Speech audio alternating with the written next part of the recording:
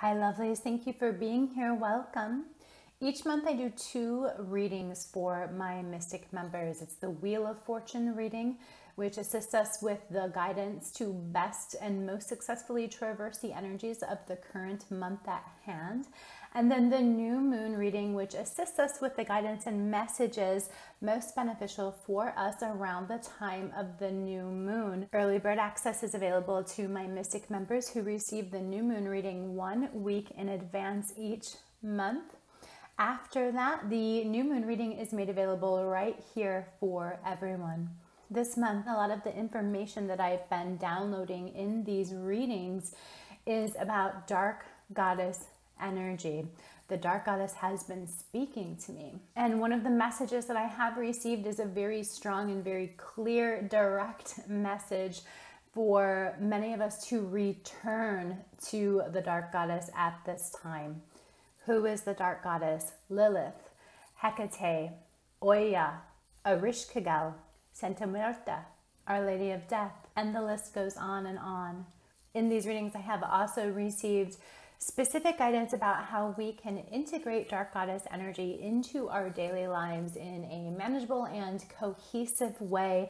This is for those of us who are called to this energy. Much of the guidance that I've received revolves around embodiment, in other words, being present in our bodies feeling the feelings there, feeling the sensations there, and working with our bodies in such a way that we're learning to move energy around inside our bodies.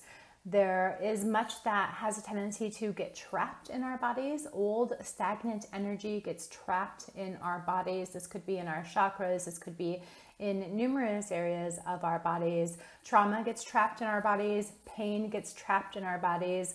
Old, intense energies, old experiences, old emotions, old memories. These things can become stagnancies in our physical and energetic body, which then creates stagnancies in areas of our lives. One of the things that the Dark Goddess has been speaking to me about is becoming more attuned to our bodies and becoming more attuned to the way in which emotions and experiences present themselves in our bodies, as well as becoming more aware of our emotional body. That is how emotions show up in our physical body, in addition to becoming more adept at moving energy through our bodies in a skillful way. This entails the recognition that our bodies are a channel. We are a channel. Our physical selves are a channel for energy for spiritual energy. And we are able to consciously direct this energy through our bodies. The other important piece of guidance that I have received is surrounding nature, the idea of nature and our relationship to nature. What the Dark Goddess wants us to recognize is that we are nature. We are not separate from nature. We are animals, we are mammals, we are nature. We need to find ways to once again view ourselves as nature, as part of nature. In addition to viewing ourselves and recognizing ourselves as part of nature, it is essential to connect to the natural world in some way in order to develop this healthier relationship with our bodies and with our energy and our emotional energy that flows through our bodies. With these things in mind, here are three ways to connect to the dark goddess in this context. Number one, clear and cleanse your root chakra. Your root chakra is connected to your sexuality, your sensuality, and is connected to your basic needs of love and security.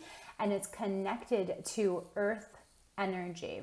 In this context, we're talking about earth energy as in the element earth. Clear and cleanse your root chakra by envisioning vibrant red glowing light flowing through your chakra and feeling that light cleansing, clearing, and revitalizing you.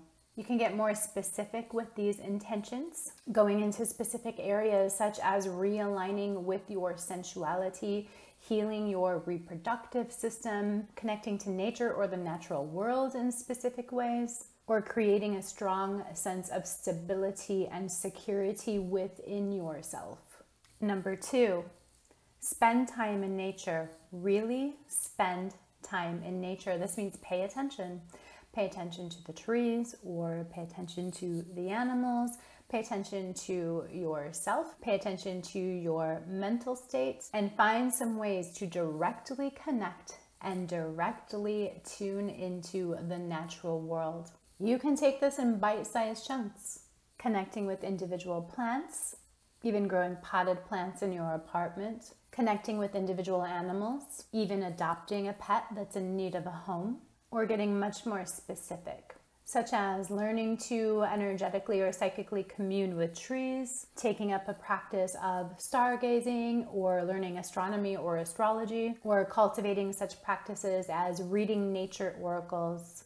A common and easy nature oracle is the practice of reading the shapes in the clouds. Another common use of nature divination is water scrying, gazing into a lake or pool of water for divination or spiritual guidance. Number three, take up a practice that allows you to move your body differently and at the same time to become more aware of how energy flows through your body and how you are affected emotionally by that energy.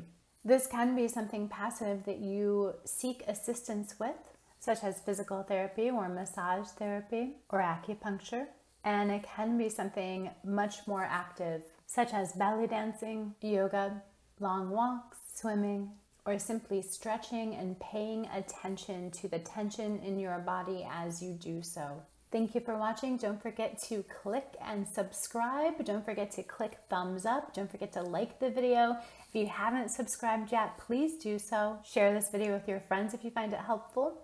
And I hope you find inspiration for how to do the work of the Dark Goddess, which encompasses our connection to nature and our holistic embodiment. Be blessed and be well.